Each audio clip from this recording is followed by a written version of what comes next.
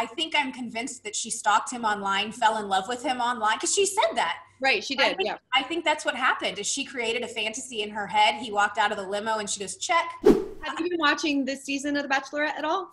I am, and I'm so glad we're finally on to Tayshia.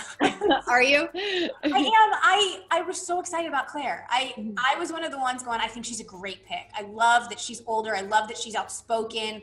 Um, I think it's going to be a different feel of the Bachelorette.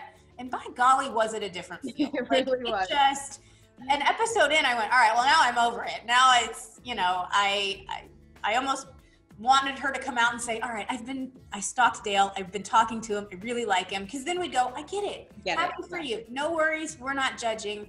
Um, it was hard to watch Clare towards the end, you know, and the way that she was kind of treating the guys and Mhm. um, why you didn't understand. Because I'm her age, like we're the same Right. age, and I'm like, I would never just randomly look at a guy and be like, "That's my husband." Yeah. That's it. I'd be like, there are a lot of things I need to figure out. He may have kids at home. I should know that, right? Like, I, So you, so you are totally convinced that they talked before this? no, I'm not. I You're think not. I I think I'm convinced that she stalked him online, fell in love with him online, because she said that. Right, she I did. think, Yeah. I think that's what happened. Is she created a fantasy in her head? He walked out of the limo and she goes check, Mhm. and so that's why I think every time we see Dale, he's like, okay, all right, oh kids, we're having kids. Hi, we're. I mean, he looks totally shell shocked every time that you see him. It does. I mean, do you think that they're gonna? I mean, obviously you can't predict. Right. We don't know what's gonna happen in the future. But do you think like this recipe for love and how it all kind of started? Do you think that they're gonna last? oh, this is gonna sound really negative. I don't think they're gonna last because I don't think they have the foundation Yeah. you know um at least we haven't seen it. We haven't seen the deep intimate talks and the and you know there is a big difference between a 39 year old woman and a 31 year old guy you know? And he is now in the spotlight this really attractive 30 year old and does does he want to get married next year and have kids? Maybe maybe. Mhm. but he may also kind of get a taste of what bachelor nation can do to somebody and then say you know what? I don't want to be tied down right now and I want to experience all of this. So, I mean, the pessimist in me is saying it's probably not going to work out. Mhm. The romantic, though, is like, God, maybe. I mean, for Clare's sake, we all want it to work out because heaven forbid it doesn't, right? Seriously. And then what do you think of Tayshia so far? I mean, I think she's doing a great job. I mean, obviously now it's all about the guys and the drama and things like that, but it seems like she's holding her own. She's doing a great a great job. I think Tayshia walked into a great situation because we were all looking for a little change after. Clare and I think she was the perfect energy. Like she just came in, she seems happy to be there. She's giving all the guys a fair shot.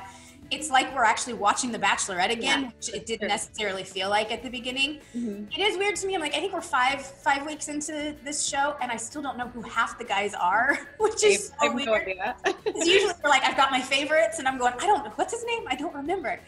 But Tayshia as a bachelorette, I think she's great. I think she's Yeah. really fun to watch. She's easy to watch, and I really like her. Did I know you said earlier that you didn't watch back your season, but did you watch any of the episodes when the greatest of all time aired, or do you still still know? There's no point at this. You know what I mean? I'm like, I lived it. I was there, and the little clips I see, and even when I see pictures, it doesn't look like me. It's like it, it's like a totally different person, and Mm-hmm. it was a totally different phase of life that I I don't know. I feel like it would make me sad to go back and and Yeah. watch that little girl go through all of that again. No, definitely. I'm sure, like you said, it feels like it's somebody like a totally Yeah. different person. Like you're watching almost a stranger. And you said that The Bachelor changed you a lot. I mean, how so? Um, I always say I feel like I went into The Bachelor damaged. You know, I had had a seven-year relationship that went really sour, and obviously I was dating Ty before The Bachelor for Right. about two years, mm-hmm. and that ended, and I just I was I was broken. You know, I kind of I had very low self-esteem. I didn't feel like I was worthy of a guy's love.